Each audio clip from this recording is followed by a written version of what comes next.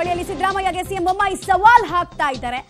ಸಿದ್ದರಾಮಯ್ಯ ವಿರುದ್ಧ ಸಿಎಂ ಬೊಮ್ಮಾಯಿ ವಾಗ್ದಾಳಿಯನ್ನ ಕೂಡ ನಡೆಸ್ತಾ ಇದ್ದಾರೆ. ನನ್ನ ಮೇಲೆ ಸಿದ್ದರಾಮಯ್ಯ ಮಾಡಿರುವಂತಹ ಆರೋಪವನ್ನು ಸಾಬೀತು ಮಾಡಲಿ. ಅವ್ರು ಸುಳ್ಳು ಹೇಳ್ಬಿಟ್ಟು ಸಿಕ್ಕಾಕೊಂಡಿದ್ದಾರೆ ಅಂತ ವಾಗ್ದಾಳಿಯನ್ನ ಮುಂದುವರಿಸ್ತಾ ಇದ್ದಾರೆ. ಲಿಂಗಾಯತ ಸಿಎಂ ಭ್ರಷ್ಟಾಚಾರಿ ಅನ್ನೋ ಹಣೆಪಟ್ಟಿ ಕೊಟ್ಟ ಬೆನ್ನಲ್ಲೇ ಬೊಮ್ಮಾಯಿ ಅವರು ಫುಲ್ ರಾಂಗ್ ಆಗಿದ್ದಾರೆ, ಗರಂ ಆಗಿ ಸವಾಲನ್ನು ಹಾಕ್ತಾ ಇದ್ದಾರೆ. ಬಹಳ ದೊಡ್ಡ ಆಗ್ತದೆ. ಮತ್ತು ಇನ್ನು ಮುಂದೆ ಅಮಿತ್ ಶಾ ಅವರು ಪ್ರಧಾನಮಂತ್ರಿ ನರೇಂದ್ರ ಮೋದಿಜಿಯವರು ಬಂದ ಮೇಲೆ ಸಂಪೂರ್ಣವಾಗಿ ಕರ್ನಾಟಕ ಬಿ ಜೆ ಪಿ ಮೇ ಆಗೋದು ಸಂಶಯನೇ ಇಲ್ಲ. ಬಿ ಜೆ ಪಿ ಸ್ಪಷ್ಟವಾದ ಬಹುಮತ ಅಮಿತ್ ಶಾ ಅವರು ಅಮಿತ್ ಶಾಜಿ ಅವರು ಇವತ್ತು ಟೋಟಲ್ ಪ್ರಧಾನಮಂತ್ರಿಯಿಂದ ಹಿಡಿದು ಎಲ್ಲರ ಪ್ರೋಗ್ರಾಮ್ಗಳನ್ನು ಅವುಗಳನ್ನು ನಿಮ್ಮ ರಿವ್ಯೂ ಮಾಡಿ ಅಂತ ಹೇಳಿದ್ದಾರೆ.